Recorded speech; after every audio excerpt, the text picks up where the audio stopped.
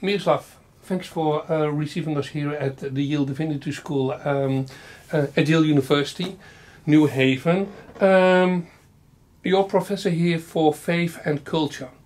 Um, to introduce you to the audience of uh, the Nexus Institute, uh, where do you come from and why have you chosen to become a theologian? I was born in what was then Yugoslavia, and I was born born to a man who was a minister. And most of our life revolved around faith and the life of a small community. And I promptly rebelled when I was about 13 years of age, and then discovered uh, faith in the 16 when I was 16, and from then on, um, couldn't quite help myself but think through the basic issues of faith, which are the basic issues of human existence.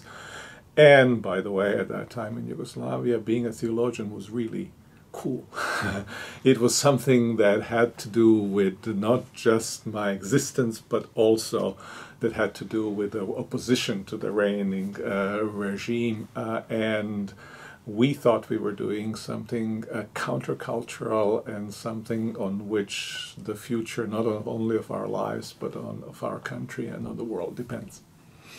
Okay, um, now we live in a time in which uh, um, a vast majority of people um, will realize that uh, to save the world, um, yes, we have science and there's technology uh, and politics can play a role, uh, and international law will play a role. But what is it that theology has to offer to the world? Well, theology is about, in many ways, uh, a reflection on the nature of human existence, nature of human, uh, the problem of human uh, human existence, and um, uh, theology can attend to questions of uh, global issues of justice, but what theology also does is it zeroes in on the deep recesses of human heart and human desire.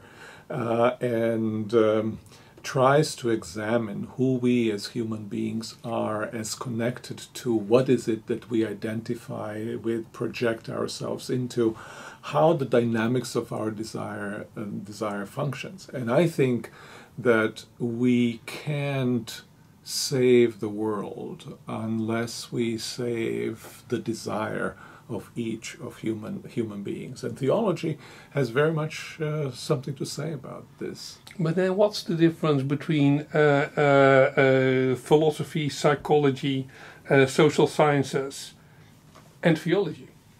Because theology, at least Christian theology, thematizes um, the world and human beings, not just in themselves, or it thematizes them as themselves only as they are related to something that's beyond the boundary boundary of this world, that's beyond beyond the boundary of their existence. In other words, it thematizes human beings as fundamentally uh, related to transcendence, so that the world is not just cosmos, the world is creation.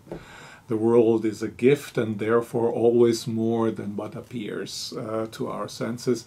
Uh, in the world, there's always more it's always the case that more than the world is the case, to quote Sloterdijk's uh, comment about uh, uh, secularism. Right.